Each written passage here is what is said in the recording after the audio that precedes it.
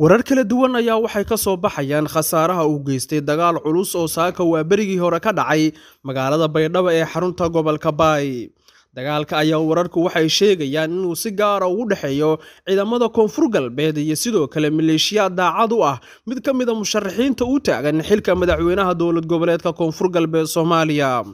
saaka waa berigii hore ayaa ciidamada koonfur galbeed waxay weerar ku ekeeyeen goob ay ku sugnaayeen ciidamadan waxaana ciidamada la weeraray ay iyana sameeyeen iska caabin waxaana halkaa ka dhacay dagaal culus oo geystay khasaare iskugu jira dhimashiya dhaawac wararka aan hadda helayna waxay sheegayaan in ciidamada koonfur galbeed ay si buuxda ula wareegeen aagga deegaanada lagu dagaalamay. Ha yeeshee warar kale oo soo baxayana waxay xaqiijinayaan in dagaaladu ay weli socdaan.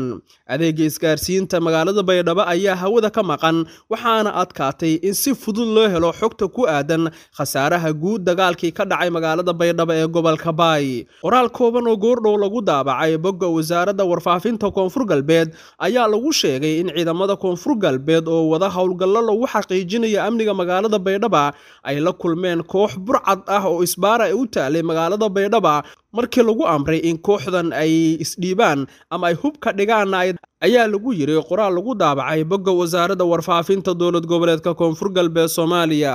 Laakiin dhinaca kale mid ka mid a musharaxiinta la weeraray oo hoygiisa uu ku yaalla magaalada baydhaba ayaa isna qoraal kooban oo uu ku daabacay bartiisa facebook waxa uu ku sheegay waxaa saaka aroortii gurigayga oo ku yaalla baydhabo weerar gardaraaca ku qaaday ciidamo iskugu jira booliis federaal ah nisa iyo ciidamada xoogga dalka ee s n a iyo ciidanka daraawiishta koonfur galbeed. Dagaalkaasi wuxuu geystay khasaare iskugu jira dhimashiya dhaawac oo dhowr qof ayaa halkaa ku dhintay ayuu yidhi maxamed fargeeti oo ah shaqsiga la weeraray gurigiisa uu ku yaalla magaalada baydhaba magaalada baydhabo ayaa maalmahan waxaa ka taagnaa xiise siyaasadeed oo ka dhalatay muddo kordhinta madaxweynaha koonfur galbeed waxaana tiro dhowr jeer ah shakhsiyaadka ka soo horjeeda muddo kororsiga madaxweynaha koonfur galbeed ay sheegeen inaysan marna aqbali doonin. Muddo dheeraysiga madaxweynaha iyagoo ku tilmaamay inay taasi tahay sifo sharcadarro ah. Madaxweynaha koonfur galbeed oo isla dhowaan khudbad ka jeediya magaalada baydhabo wuxuu sheegay in isagu uusan lahayn go'aanka muddo kordhinta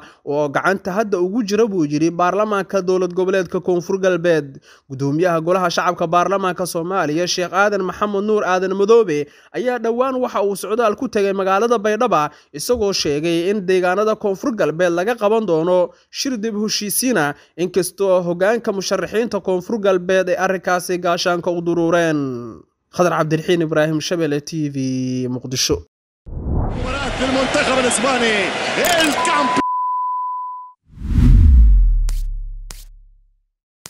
بليند على القائم الثاني على طريقة فان باستين وهذه جول هذه اختيرة وهذه جول دياغو دياغو كوستا